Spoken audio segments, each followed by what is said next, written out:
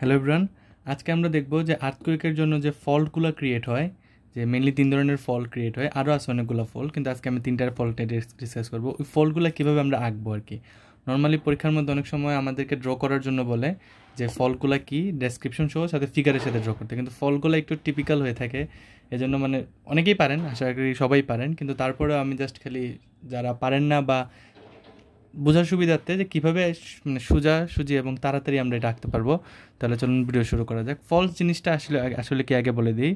যে ফলস কিছুই না জাস্ট আর্থ ক্রাস্ট যেটা থাকে আর্থের যে আউটার লেয়ার থাকে এটার মধ্যে একটা ক্র্যাক যেটা আমাদের নর্মালি টেকটনিক ফোর্স বলতে আর্থকুয়েকের জন্য যেটা তৈরি হয়। আমাদের মেনলি দুইটা পার্ট থাকে ফল্টের একটা হলো গিয়ে আমাদের ফুটিং ওয়াল যেটা হলো নিচের ওয়ালটা থাকে আর একটা হলো গিয়ে আমাদের হ্যাঙ্গিং ওয়াল এই দুইটার আপ ডাউন এবং অথবা একটা উপরে নিচে চলে যাওয়া, একটা নিচে থেকে উপরে তুলে যাওয়া, আবার পাশাপাশি সরে যাওয়া, এই তিনটি হলো মেনলি ফল্ট বোঝায় আর কি তাহলে তিন ধরনের ফল্ট আছে, যদি আমরা টাইপস দেখি, তাহলে তিন ধরনের ফল্ট নিয়ে আমরা ডিসকাস করব। একটা হলো নর্মাল ফল্ট নর্মাল ফল্ট যেটার মধ্যে হলো টেনশনের কারণে যে আমাদের হ্যাঙ্গিং ওয়ালটা আছে, এটা উপরে চলে যায়। এরপর আমাদের আছে হলে গিয়ে আমাদের রিভার্স ফল্ট রিভার্স আর ইভিই আর রিভার্স ফল্ট আরেকটা আমাদের আছে ল্যাটারাল ফল অথবা স্ট্রাইক স্ট্রিপ ফল্টও বলা হয় এটাকে।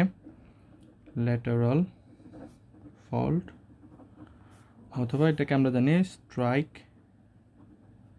স্ট্রিপ ফল্ট আরও অনেকগুলো আছে, তারপর আজকের ক্লাসের জন্য শুধু আমি এই তিনটা দিন নিয়েই ডিসকাস করব। রিভার্স ফল্টের ক্ষেত্রে হলো গিয়ে যে আমাদের যে হ্যাঙ্গিং ওয়ালটা আছে, এটা সরি প্রথমটা মানে ভুল বলব নর্মাল ওয়ালটা হলো গিয়ে যখন হ্যাঙ্গিং ওয়াল আমাদের নিচে চলে আসে, আর এটা হলো হ্যাঙ্গিং নর্মাল ফল্ট আর রিভার্স ফল্টের ক্ষেত্রে হ্যাঙ্গিং গান যখন উপরে চলে আসে, একটা হয় টেনশনের জন্য, এটা হয় কম্প্রেশনের জন্য। বানামটা লিখে দিন। কম্প্রেশনের জন্য। আর লেটারাল স্ট্রাইক সিল যেটা আছে, এটা হলো গিয়ে আমাদের হরাইজেন্টালি যখন মুভ করে ফেলে দুইটা ফল তখন আমরা হলো লেটারাল এখন আমরা এগুলো এগুলো তাড়াতাড়ি কীভাবে আঁকতে পারি এটা আমি একটু দেখা দিই। আমি এখন একটু আস্তে আস্তে মানে প্রথম নর্মাল ফলটা আঁকবো। আস্তে আস্তে আপনাদেরকে দেখাবো, যদি কোনো জায়গায় মানে একবারে না বুঝেন, তাহলে আবার একটু রিপিট করে করে আপনারা মানে ভিডিওটা আবার একটু রিপ্লে করে করে দেখে ফেলবেন। তাহলে সবার আগে আমাদেরকে দুইটা আগে প্যারালাল লাইন দিতে হবে, একটা থেকে আরেকটা একটু দূরে দূরে। ধরেন আমি দিলাম, এই হলো একটা প্যারালাল লাইন প্রথমে হালকা হালকা টান দিয়ে দিয়ে আঁকা শিখবেন, তাহলে ভুল হলেও ঠিক করা যাবে। এখানে দুইটা প্যারালাল লাইন দিয়ে দেবেন। একটা থেকে আরেকটার একটু ডিস্টেন্স থাকবে যাতে আপনারা কর্নারে এটা মিলাইতে পারেন, রম্বসের মতো। এই দুইটা কর্নার আমাদের থাকলে, এই দুইটা কর্নার আপনারা জয়েন করে দেবেন।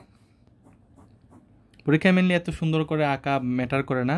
তাড়াতাড়ি আপনারা কীভাবে এঁকে জিনিসটা এক্সপ্লেন করতে পারেন? কারণ মার্কস আর অনেকগুলো কোয়েশন থাকবে তো আনসার করার একটা টেন্ডেন্সি আছে, যদি একটা সুন্দর করে আঁকা যায় সময় চলে যাবে।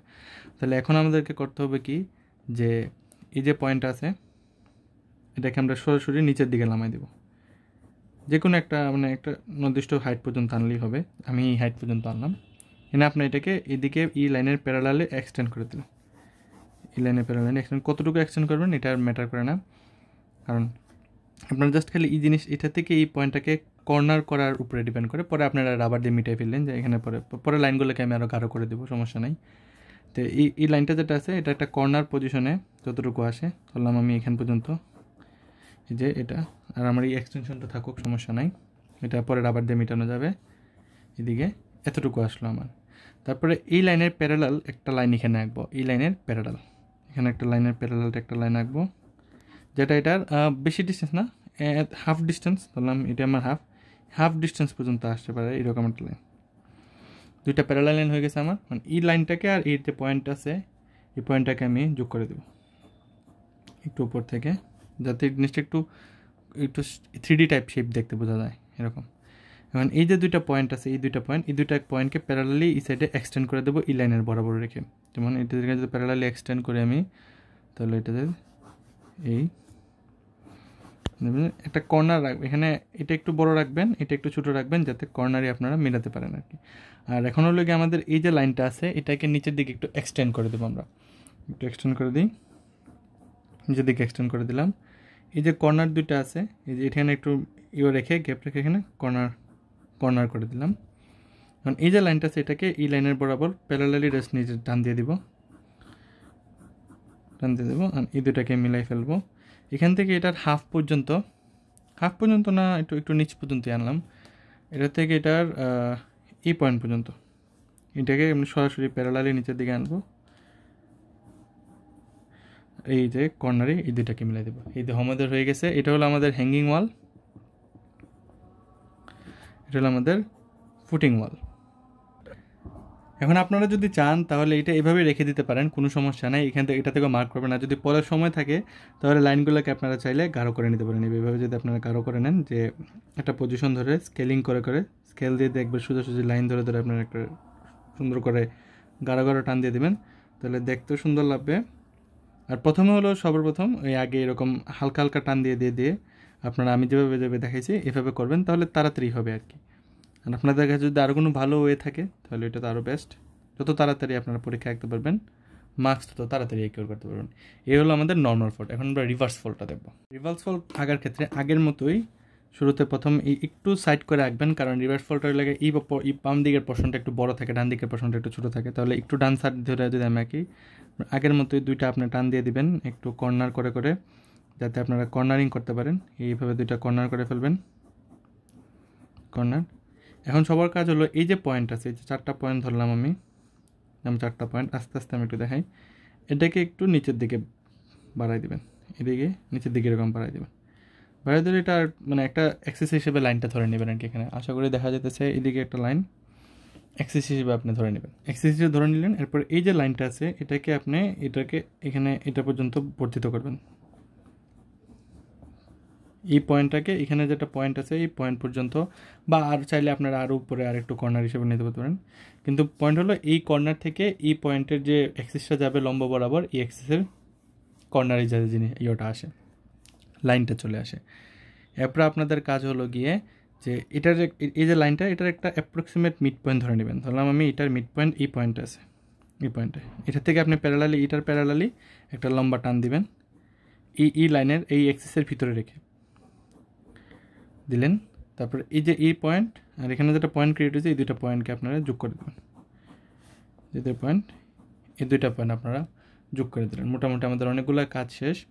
এখন হলো গিয়ে এই যে লাইনটা আছে, এর আগে আরেকটা জিনিস দেখাই, যে আমাদেরকে হলো গিয়ে এই যে এটার যে মিড পয়েন্ট আছে কাজ হলো এটার যে একটা মিড পয়েন্ট আছে, এটাকে একটা সিলেক্ট করবেন। ধরেন এই জায়গাটা আমি সিলেক্ট করলাম, করে এখানে একটা একটা আমি একটা অ্যাক্সিস পয়েন্টের মতো টান দিয়ে দিলাম, যাতে আমার সুবিধা হয়।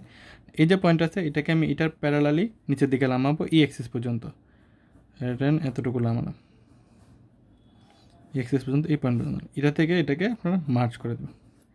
এই হয়ে গেছে আমাদের একটা বক্স আশা করি পারা যাবে। এত সুন্দরের দরকার নেই জাস্ট খালি আপনারা চাইলে এই পয়েন্টটা একটু যদি এক্সটেন্ড করেন, তাহলে বক্সটা আর একটু খুলে আসবে। এটা কোনো সমস্যা না এটা ম্যাটার না। জাস্ট খালি এক্সপ্লেন করতে পারলে হয়েছে। এই যে মিড পয়েন্টটা পাইছেন, এটাকে এদিকে এক্সটেন্ড করবেন। একটু বেশি রেখে। একটু বড় রেখে এদিকে এক্সটেন্ড করবেন। এই মিড পয়েন্টটাকে কারণ এখান থেকে এই যে লাইনটা আছে, এই লাইনের একটা মিড পয়েন্ট নেবেন। কারণ এটা নিলাম আমি।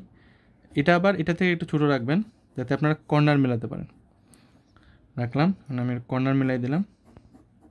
যে এই যে আমার একটা পয়েন্ট আছে, এখানে একটা আমি একটা এক্স এক্সিস আঁকবো। যে এটা এই লাইন বরাবর একটা এক্স এক্সিস আমার আঁকবো। এই এই পয়েন্টটা বরাবর। কারণ এই যে পয়েন্ট আছে আমার, এখানে একটা বক্সের মতো ক্রিয়েট হয়েছে যে, এটাকে আমি নিচের দিকে বর্ধিত করে দিব। নিচের নিচের দিকে বাড়াই দিলাম। বাড়াই আমি এই লাইনের বি পয়েন্টের সাথে মিলাই দিলাম। এই যে পয়েন্টের সাথে আমি মিলাই দিলাম। এগুলো স্কেল দিয়ে আপনারা করবেন। আমি জাস্ট ফ্রি হ্যান্ড ড্রয়িং যাতে জিনিসটা বোঝানোর জন্য দিতেছি। কারণ এই যে এই যে পোর্শনটা আছে আমার, এই পোর্শনটা এটার মিড পয়েন্টে না গিয়ে মিডের আরেকটু আগে, এই যে এই পয়েন্টটা থেকে এটার প্যারালাল করে একটা লাইন টানবো ফ্রি হ্যান্ডে এই যে প্যারালাল করে একটা লাইন টানবো ফ্রি হ্যান্ডে বেশি নিচে আসা লাগবে না, এতটুকু আসলে এনাফ এটা একটা অ্যাপ্রক্সিমেট নিচে চলে আসবে। ধরেন যে এখানে যে আমার এক্সিসটা হয়েছে যেখানে একটা এক্সিস ফর্ম করছে, এটার এটার ফোর্টি ফাইভ ডিগ্রি অ্যাঙ্গেলে আপনারা রেখে দেবেন। এই যে এক্সিসটা তৈরি হয়েছে আমার, এখানে। এটা নাইনটি ডিগ্রি একটা এক্সিস তৈরি হয়েছে না? এই জায়গায় এটা ফোর্টি ফাইভ ডিগ্রি অ্যাঙ্গেলে রেখে দেবেন, রেখে এই যে পয়েন্ট আছে, এটাকে মিক্স করে দেবেন। এরপর আপনার মোটামুটি আমার আঁকা শেষ। এখানে আমার রিভার্স ফল কমপ্লিট এটা আমার হ্যাঙ্গিং ওয়াল উপরে চলে গেছে কম্প্রেশনের কারণে। এটা হলো আমার ফুটিং ওয়াল এরপর আপনাদেরকে যেটা বললাম স্ক্যান নিয়ে নিয়ে আপনার জাস্ট খালি যে লাইনগুলো আছে, একটা তিন চারটা লাইনের মধ্যে যে কোনো একটা লাইন মিটানোর দোকানে রাবার দিয়ে, একটা লাইনকে আপনারা এরকম গাঢ় করে দিবেন, তাহলে দেখতে সুন্দর হয়ে যাবে। এই যে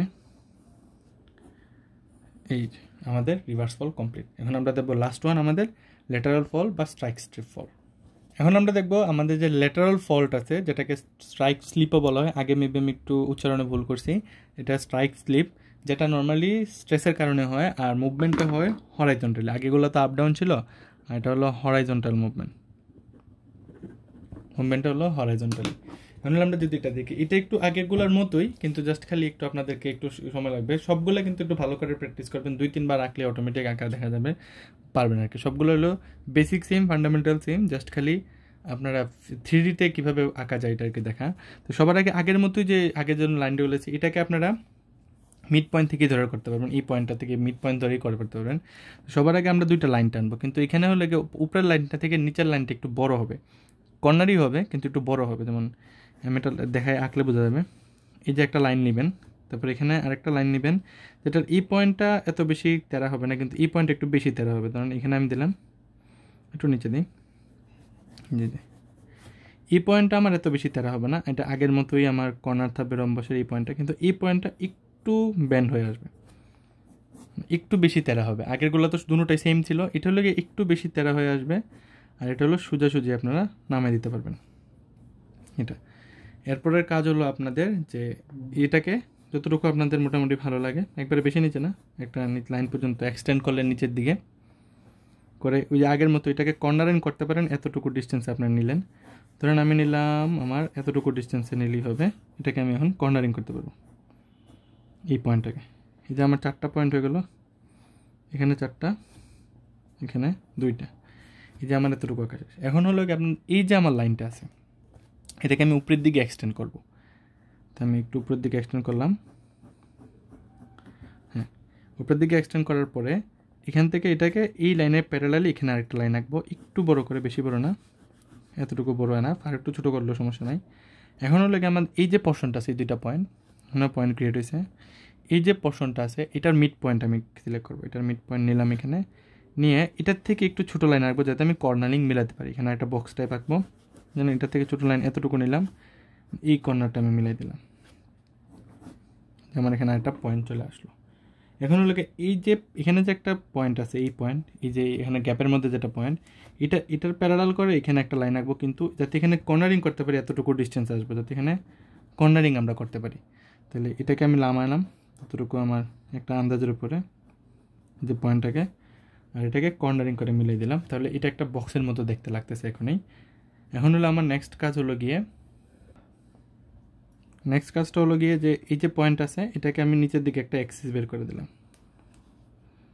এক্সিস যাতে আমি একটা রেফারেন্স লাইন পেতে পারি। আপনারা স্কেল দিয়ে করতে পারেন। আমি ফ্রি হ্যান্ডে করতে করি কারণ স্যারকে বোঝাতে পারলেই হয়েছে। মার্ক চলে আসবে। এখন হলো গিয়ে এটাকে আমরা প্যারালালি ই লাইনের বরাবর এক্সটেন্ড করব ই পয়েন্টের ই এক্সিস রেফারেন্স রেখে। রাখলাম এখন ই লাইনটাকে এই পয়েন্টের সাথে মিলাই দেবো। মিলিয়ে দিলাম। এখন আপনারা বাকিটা তো বুঝতেছেনই যে এইটাকে এরকম একটা পয়েন্ট পর্যন্ত, ধরুন আমি মিড পয়েন্ট পর্যন্ত আমি নামাবো, আমি কোনাটা মিলাই দেবো। নামালাম কর্নার মিলাই দিলাম। হয়ে গেলো আমাদের horizontal movement of the faults এখন আপনি চাইলে এটাকে আগের মতো, আগেরগুলোর মতোই গাঢ় করে ফেলতে পারেন স্কেল দিয়ে দিয়ে। আমি জাস্ট ফ্রি হ্যান্ড করতে পছন্দ করি। গাঢ় না রাখলেও কোনো সমস্যা নাই, কারণ যে অ্যাটলিস্ট ফিগারটা বোঝা যাইতেছে। এই। এই হলো আমাদের গিয়ে, এটা একটা হলো হ্যাঙ্গিং ওয়াল আর এটা হলো গিয়ে আমাদের ফুটিং ওয়াল হলো আমাদের লেটারাল ফলস আশা করি ভিডিওটা ভালো লাগছে, পারা যাবে আশা করি। কোনো সমস্যা থাকলে কমেন্টে জানাবেন। Thanks for watching